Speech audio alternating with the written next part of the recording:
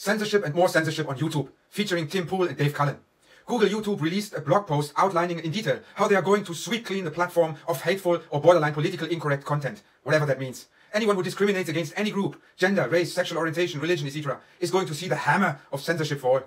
Preferred methodology to deal with the wrong thinkers is demonetization, shadow banning, delisting, and ultimately termination from the video platform.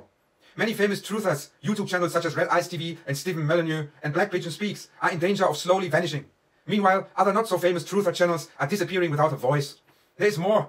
Misinformation and fake news. Of course, it is only misinformation and fake news if the alternative media or the independent media or the citizen media are reporting it, so they will get banned. The mainstream media, meanwhile, here within called the authoritative media, are going to get a leg up from YouTube.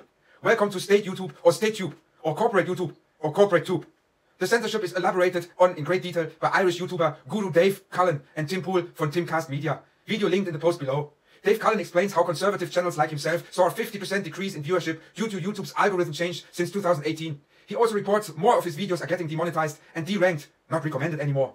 Dave calls upon President Trump for help. Tim Pool describes how Steven Crowder, a massive YouTuber and conservative blogger, had been demonetized and how YouTube changes its user policies arbitrarily in order to conspire to mass censorship in the coming days and weeks. This is serious stuff, friends. The free internet as we knew it is gone.